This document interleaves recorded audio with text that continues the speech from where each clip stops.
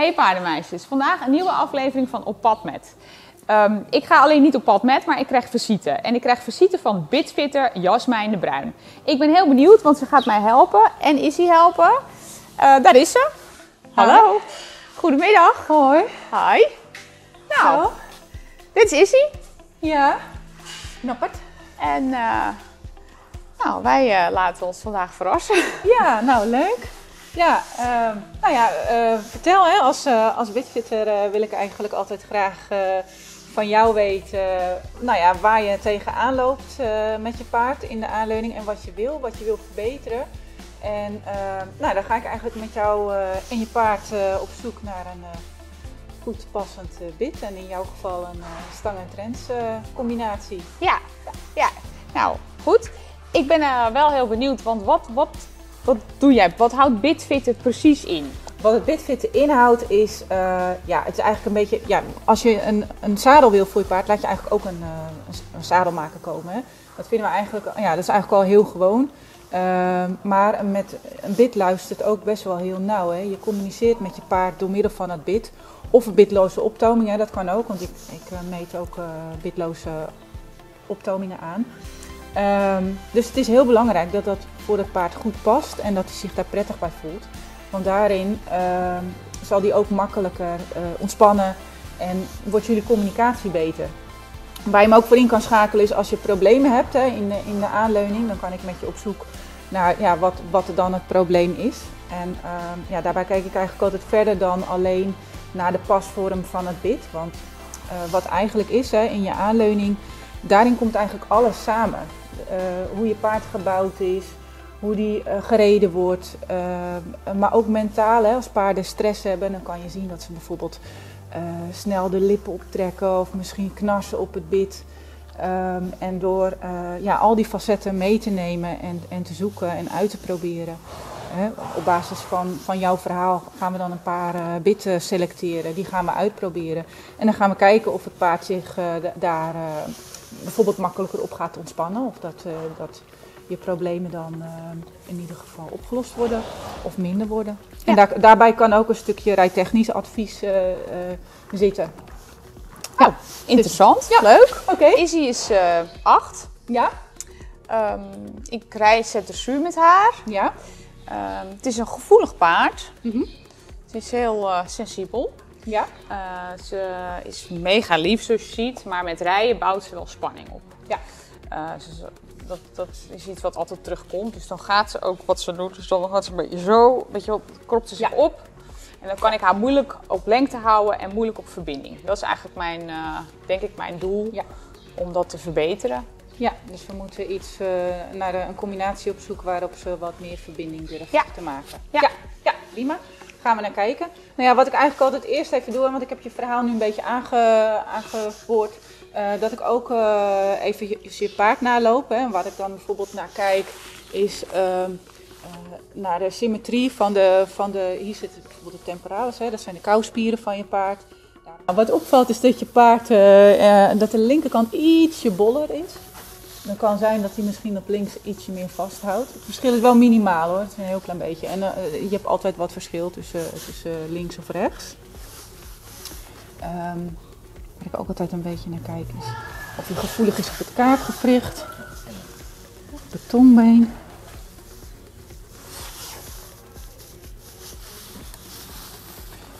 Zijn allemaal eh, aspecten die van eh, invloed kunnen zijn op je aanleuning. Hè? Als die paarden wat gevoelig zijn op het kaakgewricht, dan ja, kan dat doorwerken en kunnen ze misschien wat onrustiger daarvan worden.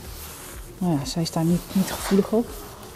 Ook altijd naar kijken en dan voelt het ook allemaal even af of er nog gevoeligheden in de mond zijn. En kijk ook naar de anatomie van de mond. Heeft je paard bijvoorbeeld een dikke tong of een dunne tong? Eh, het zijn allemaal facetten om rekening mee te houden, hè? om dus op, op zoek te gaan naar een goed passend bit. Ja, dat is op zich wel een normale reactie. Hoor. Het is paard altijd een beetje gek als je dit zo afvoelt. Ik voel altijd de lagen even af, of daar bijvoorbeeld beschadigingen of gevoeligheden op zitten. Nou, dat is bij jou niet het geval. Ik kijk ook altijd eventjes naar de voortanden. Hè. De mooie recht, eh, staat allemaal mooi recht, eh, recht op elkaar. Nou, prima. Oké, duidelijk. Goed. Oké. Zal ik eh, laten zien, of zal ik eerst beginnen met het bit wat ik nu heb? Ja, je begint eerst gewoon even op de trends. Ja. En dan gaan we eerst kijken eh, hoe jouw paard gewoon op de trends loopt. En dan gaan we daarin eerst een paar keer een trends wisselen om te kijken of we daarop nog wat verbetering eh, kunnen krijgen ten opzichte van het bit waar je nu op rijdt. En als we die gevonden hebben, dan gaan we daar een stang bij zoeken. Ja. Wat zijn nou dingen die je vaak tegenkomt? Fouten?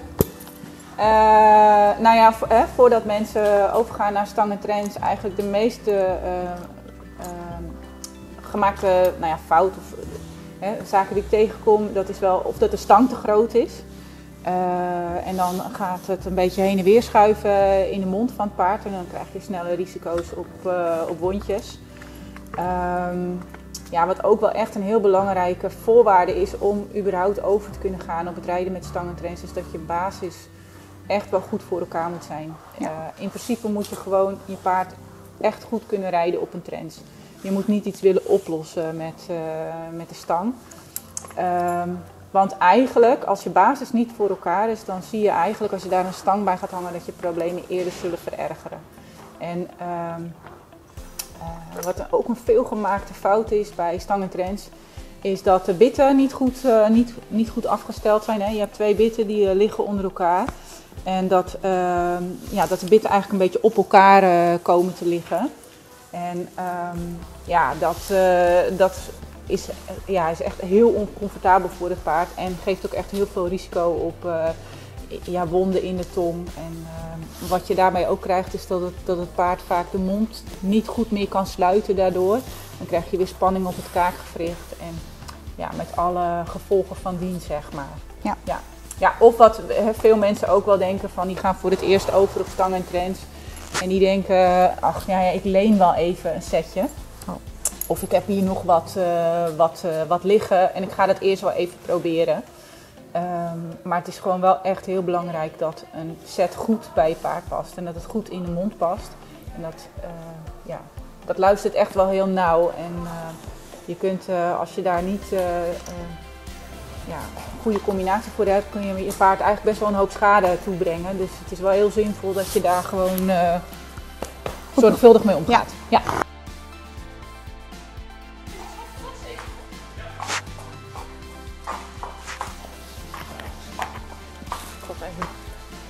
Je hebt eh, bitten in eh, allerlei eh, soorten en maten.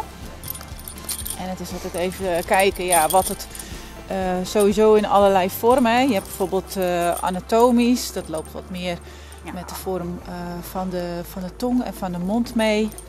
Maar ook recht. En heel vaak vragen mensen aan mij van ja, wat is nou het beste of het meest vriendelijke bit? Maar dat is niet altijd van tevoren te zeggen. Dat is net wat je paard ook prettig vindt en wat ook weer goed in de mond past. Dus naast verschillende vormen heb je ook nog verschillende materialen. Dit is bijvoorbeeld eh, titanium, dat is heel licht. Ehm, ja, dat kan goed werken voor paarden die bijvoorbeeld heel gevoelig zijn in de mond. Maar tegelijkertijd is het ook weer wat dunner. Dus dan is het ook heel belangrijk dat je met een eh, zachte, rustige hand kunt rijden. Ehm, en ook voor paarden die bijvoorbeeld wel eens veel allergie hebben, eh, kan dat ook. ehm, kunnen die hier ook goed op reageren. Ehm, dan heb je dit nog, ja, sweet iron. Eh, dit oxideert een beetje, dat geeft een zoet smaakje af. Eh, wat eh, paarden soms prettig vinden, waardoor ze het bit weer makkelijker accepteren. Ehm, dit bit is weer ander materiaal. Dit is een mengeling van, van koper. Sensogan heet dat. Ehm, ja, geeft ook weer een smaakje af. Of gewoon roestvrij staal. Eh, die eh, kunnen ook vaak eh, prima werken. Maar die gaan we zo eerst even uittesten. Ik begin eigenlijk altijd even simpel. Hè? Dus bij het dichtste bij wat je nu in hebt. En je hebt nou een, een hulstrens, maar deze is niet geschikt om te combineren met jouw stang. Dus ik doe even gewoon een simpele roestverstalen dubbel gebroken trends. Even kijken wat ze hierop doet. Ja. Zie je, kijk, dit heb je wel, hè? Dat, je- eigenlijk alweer ziet eh, dat het eh, wel anders is. Ja, eh, zeker. eh, deze, deze is ietsje zo gevormd en deze is gewoon ietsje rechter. Ja. Ja.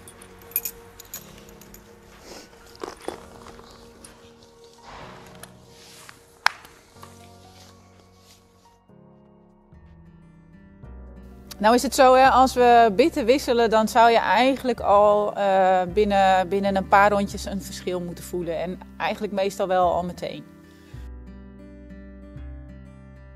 Natuurlijk naar zoeken is dat het uh, verschil positief is. Wat maakt voor jou het verschil? Nou, het maakt meer aanleuning. Ja, durf meer de verbinding te maken Ja. op deze. Wat je wel nog ziet is dat ze nog wel iets blijft eh, rommelen af en toe hè, met de mond. Maar kan, eh, ze hoort daar natuurlijk ook wat lopen, dus het kan daar ook wel een klein beetje mee te maken hebben. Ehm, en net dat ik het zeg, eh, wordt hij nu eigenlijk heel mooi stil.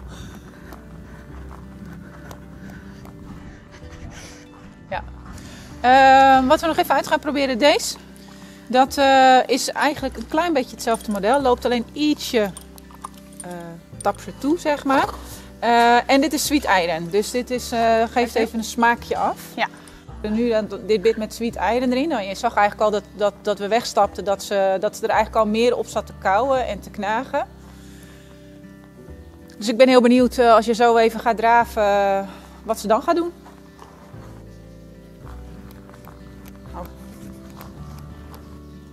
Rustig.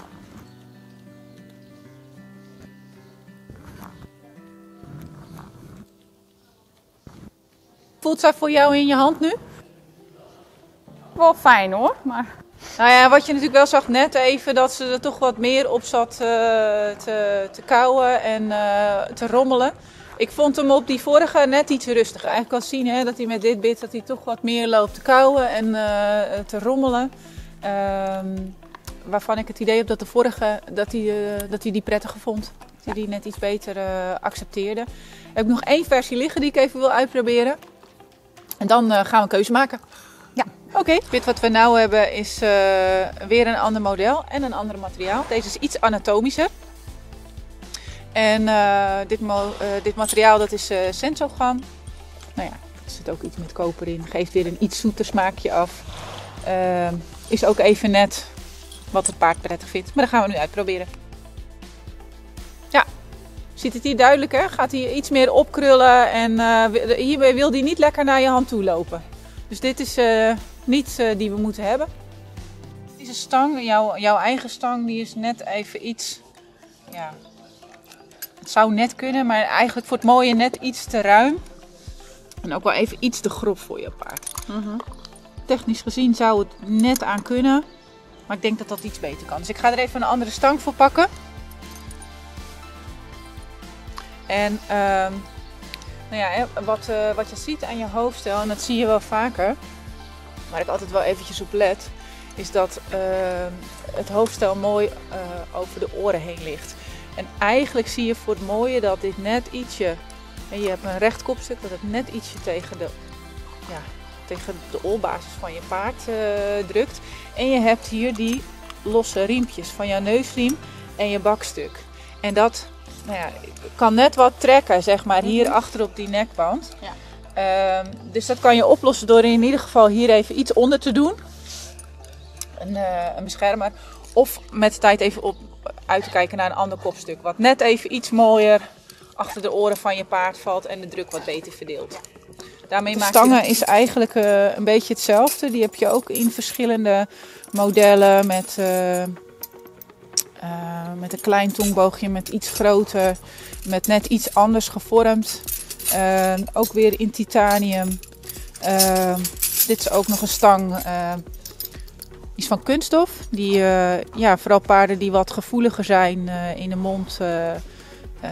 Kunnen dit, dit prettig vinden. Maar tegelijkertijd ook wel weer wat dikker. Dus dat, nou ja, ook weer even zoeken hè, of dat past. Dit is nummer 1. ook van Sweet Iron. Nou, even kijken hoe hij het hierop doet. Ja. Nou eens.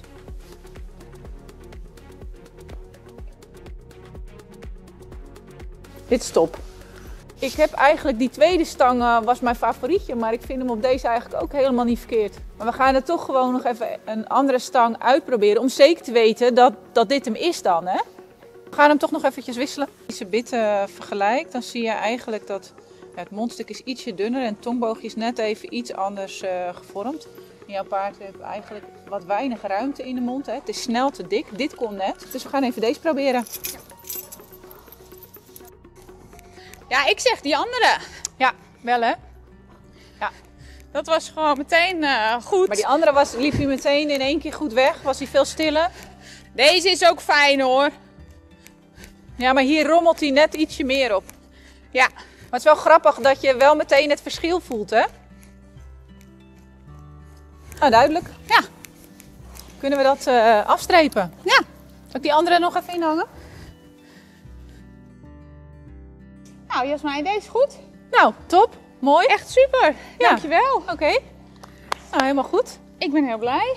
Ga er lekker mee rijden. Mocht er nou nog eh, eh, dat je van de week eh, of volgende week ermee aan het rijden bent en dat je denkt, nou ja, hè, er is toch iets of, of het verandert of trek dan nog even aan de bel.